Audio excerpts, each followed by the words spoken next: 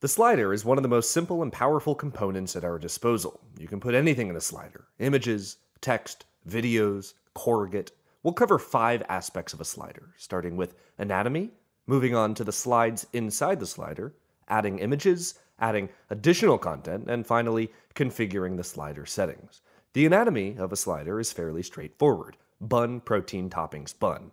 The anatomy of a slider component, as we drag it in from our elements panel into our project, is just as simple. It takes up the full width of whatever parent element it's dropped into, in this case, a container.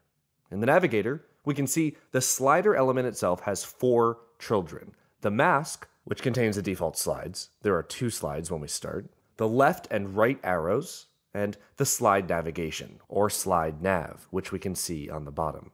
Those four components let us style and interact with our slider. That's anatomy. Let's move on to the actual slides. As we already know, we have two slides by default. In our element settings panel, at any time, we can go over and add more slides. Once we do that, we have a few different ways to access each slide.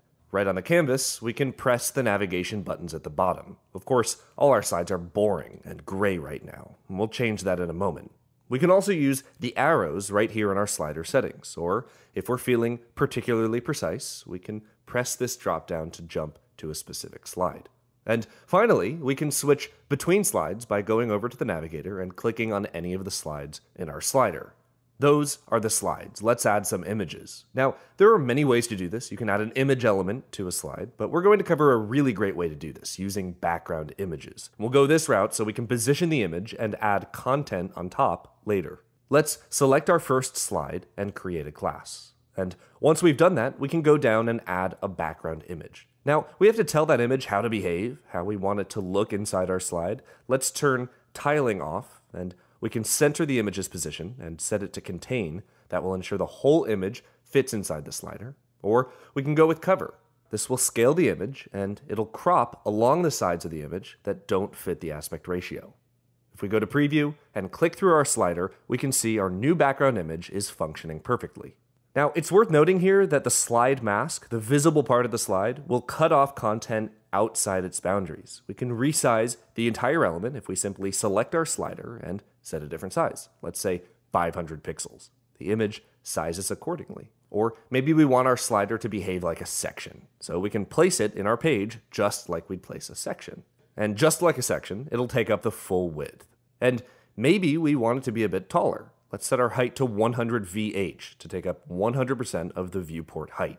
This is a perfect transition from images to content. And slides, just like div blocks or sections, can contain other components as well. Let's start by dropping a container element right into our slide so we can keep our content neatly bound.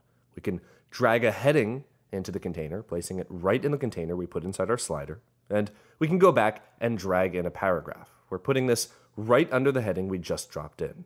Then right click or two finger click to select duplicate so we have twice the filler text. Of course, we can select our slide and affect the font color so we can see what we're doing. And the sky's the limit with what we can add here. We can put this button right under our paragraph, or we can go over and copy an element from a completely separate project, like the poster for the 1995 hit Chuck Norris film, Top Dog, and place it in our new project, right in our slide.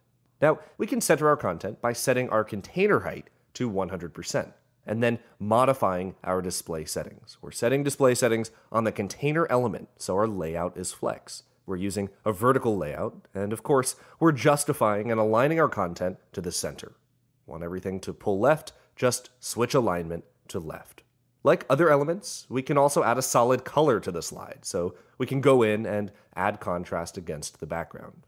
If we go to preview everything, our slider functions perfectly. Of course, from here, we can add additional content to our other slides. And there are tons of ways to do this. We can, of course, create the next slide from scratch, or we can use our first slide as a starting point. Apply the same class we applied on the first slide to the second slide.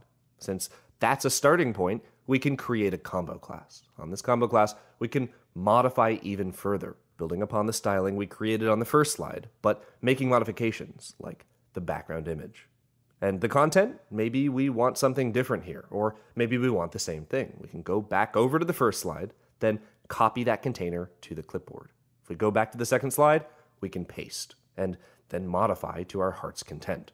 That's content. Finally, let's dig into our slider settings, and there are some great controls here under the Element Settings panel. Animation type controls how the transition looks when you visit a new slide from the current slide. We can control the easing method, or even the duration, like 90,000 milliseconds or 400.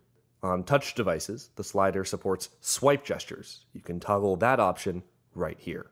Then there's the autoplay slides, automatically transition after a certain time. We can set the timer. Here it's 4,000 milliseconds or 4 seconds. And if we go to preview, we can see that in precisely 4 seconds, the transition occurs. And it'll occur again right now. Of course, outside of preview, if we go back to our element settings panel, we can stop the autoplay after a set number of transitions. Arrows are up next, and hiding each end of the slider means the first slide won't have a left arrow, and the last slide won't have a right arrow. Finally, we have our slide nav controls. These give us options regarding the navigation at the bottom. Now, each of these options give us a tremendous amount of control, so the best way to become familiar with all this is to try it out. You can create a custom backup point by pressing Command Shift S at any time, or Control Shift S on Windows, and you can always restore from that backup in your project settings, especially if you completely destroyed your slider while experimenting. So, the slider contains the mask, which has our slides inside. We have our left and right arrows, and of course, the navigation at the bottom. We can select slides from our canvas, or using our dropdown, or even visiting the navigator to select one of the slides from the slider. We can add background images to each slide, we can add other content, and we can configure our slider so it looks and functions exactly how we want it to.